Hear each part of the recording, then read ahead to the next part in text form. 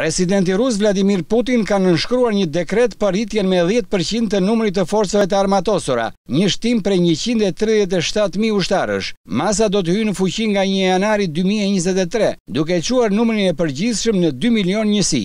Kremlini tha se në Ukrainë, në atë që e quan një operacion special ushtarak, marrin pjesë vetëm ushtarë vullnetarë me kontratë, duke hedhur poshtë pretendimet se po parashikohet mobilizim në shkallë të gjerë. Ndërkohë Këshilli Shtetëror i Dumës u ka kërkuar vendeve perëndimore të ndalojnë furnizimin me armë për Ukrainën dhe pretendon se Kievi ka përdorur të njëjtat armë për të vrarë dhe gjymtuar njerëz dhe për të ushqyer rrezikun e një kërcënimi bërthamor.